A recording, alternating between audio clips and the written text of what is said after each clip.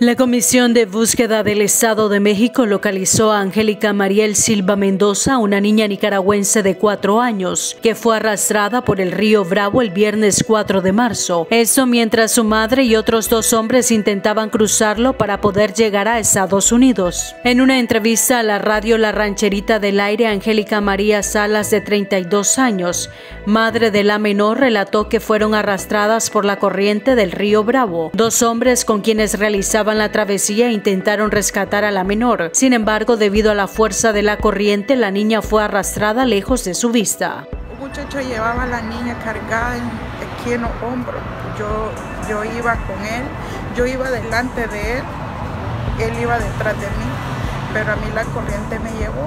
Él me agarró y me sostuvo, me dijo que me parara. Yo le dije que yo no podía parar, que, que me soltara, pero que salvara a la niña. No, párate. Yo le decía, no, suéltame, yo me voy a soltar. A mí la corriente me llevó. Él se quedó con la niña en pie. Yo, de ahí ya no supe nada porque la corriente a mí me llevó. Pero cuando yo llegué a la orilla, yo oí a mi hija gritar, yo de, de, pánico, de miedo, pero yo pensaba que era que ya la habían agarrado y no. Cuando yo llegué realmente a la orilla, y con la niña lejos gritándome dos veces, mami, mami.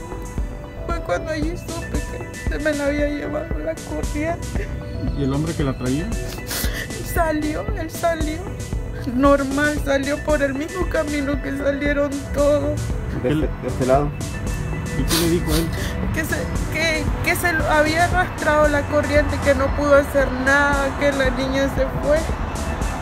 Los familiares de la niña solicitaron la colaboración de la ciudadanía para buscar y localizar, pues guardaban la esperanza que la menor podría estar en el municipio de Piedras Negras, Coahuila. Yo no aguanto esta angustia, yo sí mi hija, yo no puedo vivir. Por favor, si alguien la ha visto, regrésemela, por favor.